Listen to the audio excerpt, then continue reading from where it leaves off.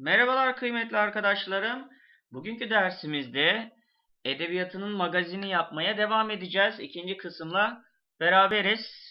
Hem bu arada edebiyatçılar hakkında ufak bilgiler serpiştirelim. Hem de böyle hoş magazinsel bilgilerle e, ders yapalım dedik. Şimdi Emin Bülent Serdaroğlu ile başlıyoruz. Emin Bülent Serdaroğlu hatırladığımız ka kadarıyla Galatasaray Spor Kulübü'nün ilk kaptanıydı.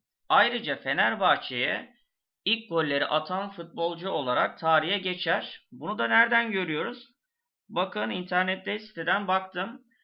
Galatasaray Spor Kulübü'nün burada futbol e, bakın kadrosunu görüyoruz. Kurucusu Horace Armitage diye geçiyor. İlginç olan kısım hem teknik direktör hem de burada e, futbolcu olarak gözüküyor. Hem top oynuyormuş hem teknik direktör olarak görev yapıyormuş. Bakın Emin Bülent Serdaroğlu forvet olarak karşımızda. Yine başka yabancı futbolcular da var. İdris Bey de bir diğer forvetlerden biriymiş. Buraya baktığımızda arkadaşlar e, ilk maçın skorunu görüyoruz. Galatasaray Fenerbahçe'yi 2-0 yenmiş. 1909 yılında oynanan bir futbol müsabakası. E, bakın stadyumda İttihat Spor Kulübü Union Club diye geçiyor. Hakem de James Lafontaine Fransız bir hakem yönetmiş maçı. Emin Bülent Serdaroğlu'nu hatırlıyorsanız Kin şairiydi. Victor Hugo Türkleri eleştiren bir şiir yazıyordu değil mi? Mavi gözlü Yunan çocuğu diye. Haksız yere bir şiir yazıyordu. Emin Bülent Serdaroğlu da ona karşın Kin şiirini yazıyordu. Kin şiiri çok beğeniliyordu. Hatta Mustafa Kemal Atatürk huzuruna çağırıyordu kendisini. Onun karşısında da bizzat bu şiiri okuyordu. Çin şairi olarak anılan Fecrati şairimiz. Emin Bülent Serdaroğlu. Bir diğer sanatçıya geçelim. Gelelim Nazım Hikmet Ran'a. Hatırladığımız kadarıyla Nazım Hikmet Ran serbest ölçüyü e, edebiyatımıza taşımıştı. Ayrıca basamak dizeyi getiren kişidir. Ayrıca serbest nazım ve toplumcu şiirin en önemli şairidir arkadaşlar. Nazım Hikmet de gördüğümüz üzere Fenerbahçeli tam bir Fenerbahçe tutkunudur. Hani bırakın maçlarına gitmeyi antrenman maçlarına bile katılırmış.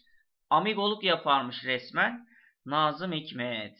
Gelelim bir diğer sanatçımıza. Necip Fazıl Kısaküre'ye.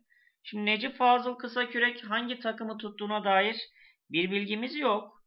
Ancak e, bir söyleşinde şunu söyler. Bir keresinde bir futbol müsabakasına gittiğini, onu da maç izlemek için değil de oradaki bir arkadaşını görmek için gittiğini söyler. Gençlik çağlarında güreş müsabakalarını zevkle seyrettiğini söyler.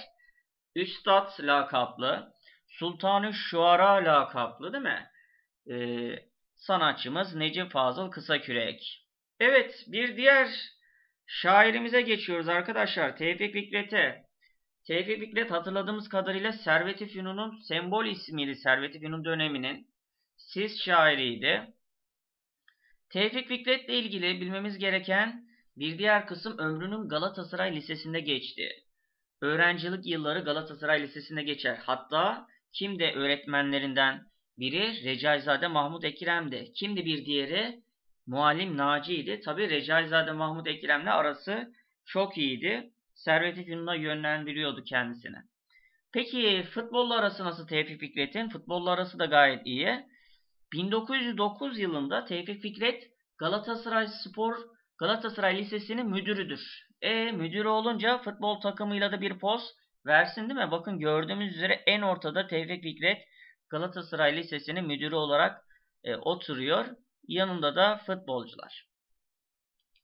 Evet, bir başka sanatçımıza gelelim. Süleyman Nazif. Hatırladığımız kadarıyla Kara Bir Gün, İngilizlerin İstanbul'u işgali üzerine Kara Bir Gün adlı eseriyle ünlenmişti. Coşkulu sanatçımız Süleyman Nazif. Peki bir de marş yazsın mı?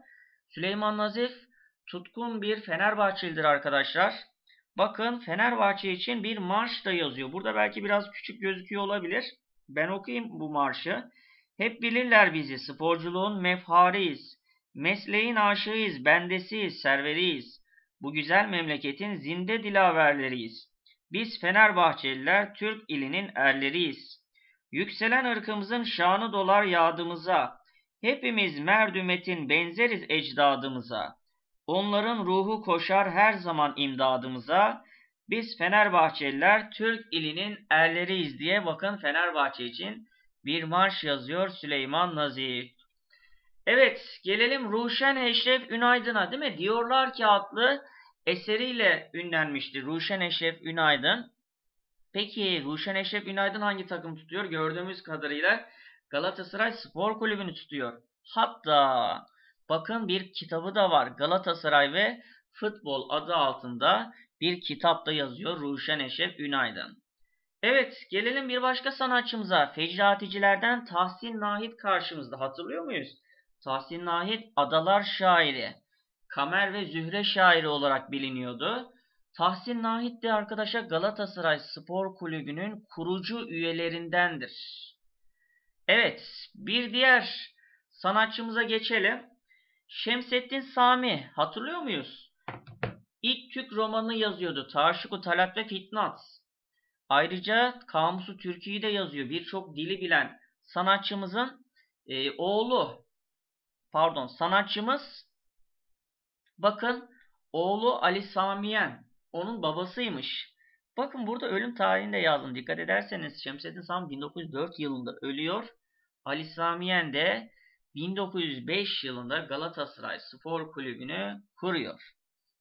Evet, bir başka sanatçımıza geçelim. Orhan Veli Kanık garipçilerin değil mi? En önemli sanatçılarından biriydi. Orhan Veli Kanık da fanatik Galatasaraylıymış.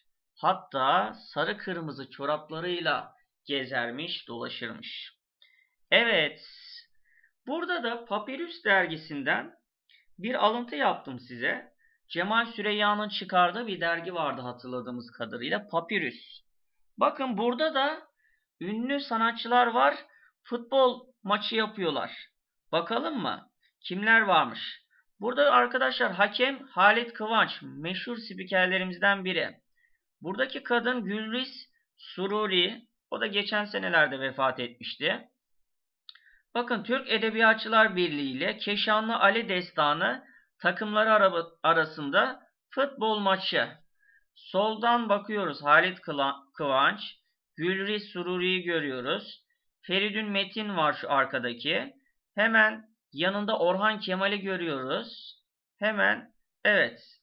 Daha sonra arkadaşlar maçı bakalım kim kazanmış? Maçı edebiyatçılar kazanmış 5-3. Golleri kimler atmış? Ülkü Tamer atıyor gollerden birini. Ülkü Tamer hatırladığımız kadarıyla ikinci yeni sanatçılarından biriydi. Yine Feridün Metin bir gol atıyor. Birini de kim yine 3 golü de kim atıyor? Orhan Kemal atıyor arkadaşlar. Evet, bu da bir başka anekdottu. Bir başka magazin edebiyat dersimizde daha görüşmek üzere. Kalın sağlıcakla.